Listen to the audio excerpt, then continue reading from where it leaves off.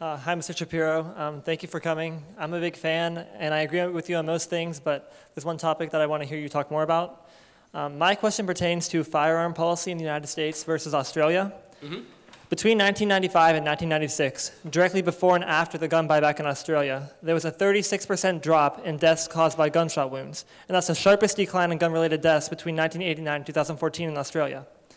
Um, between 2001 and 2002, before and after the trafficking handgun agreements in Australia, the general homicide rate, not even specific to firearms, dropped by 17%, which was also the sharpest drop, drop in homicides between 1989 and 2014 in Australia. Um, comparing Australia to the United States, between 2001 and 2014, there was a 44% decline in the rate of homicides in Australia compared to only a 19% decline in America. Um, given these facts, do you believe that pol um, policies similar to those enacted in Australia, specifically um, the, the, back, the gun buyback and the national, with the National Firearm Agreement, as well as the trafficking handgun agreements, do you think that similar policies in America would help reduce gun violence?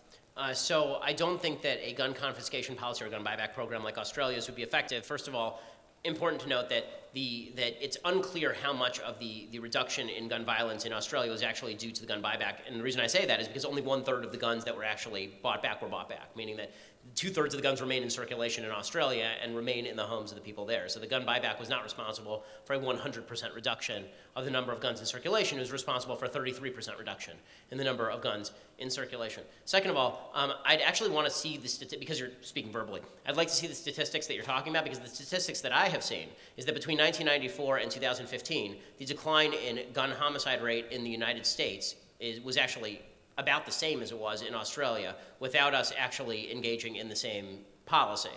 Uh, and in fact, there's a good article at the Washington Post. Um, the woman's name escapes me. Uh, it's a woman who used to work for 538. I think her name was Libresco, Leah Libresco. Uh, and she, she, writes an entire piece specifically about the UK and Australia and contrasting their gun policy with the United States and explaining why this is not particularly apt as a comparison. Um, and it isn't. I mean, the fact is that America's, gun, uh, America's homicide rate, our, our, gun violence rate, has gone down massively since 1994, despite the increase of the number of weapons in circulation tremendously during that same period.